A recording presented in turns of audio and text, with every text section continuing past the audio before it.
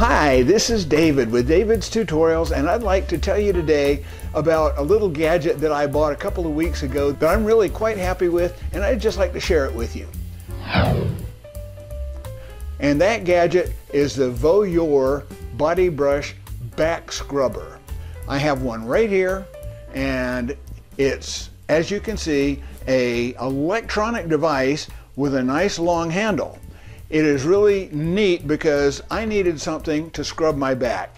Have you ever had a situation where when you are taking a shower or a bath and you you wash and you kind of scrape with your fingernails and your fingernails come away with a little bit of scum or they come away with some little bumps of they, they may be scabs or uh, sebaceous cyst exudate or what you know just stuff that's on your skin and you just really can't get to it to scrub it.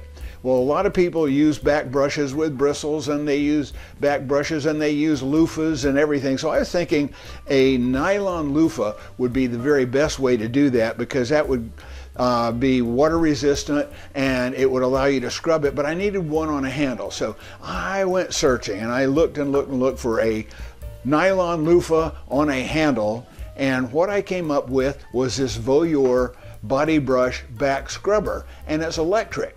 It has two speeds so that you can go low speed and high speed. You have to hold it for two seconds to get it to turn on. There you go.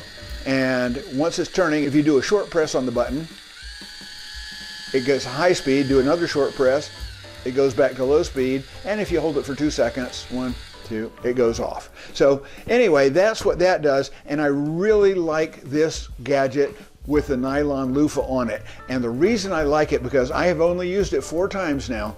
And the four times that I've used it, when I come back the next time, I don't have the scum or the bumps on my back that I get off with my fingernails when I scrape, you know, reach way around behind the back to scrape. But this thing, it works really great. Now it comes with three other heads on it that I haven't used yet, but I probably will. And it just pops right off like that. One of them is got a brush around the outside and it's got a pumice stone in the middle. And I've got a little rough place on the bottom of my foot and I'm thinking that next time I take a shower when the skin on the bottom of my foot is soft, I'm going to put that on and I will go ahead and use that pumice stone to kind of grind down the rough space on the bottom of my foot. And it's got a bristle brush here for anybody who's interested in a bristle brush. It'll just click right on like that. And it's got a nylon, it's like rubber bristle brush if you need a little bit better. But right now I am very happy with the loofah, nylon loofah, scrubbing my back nice and clean.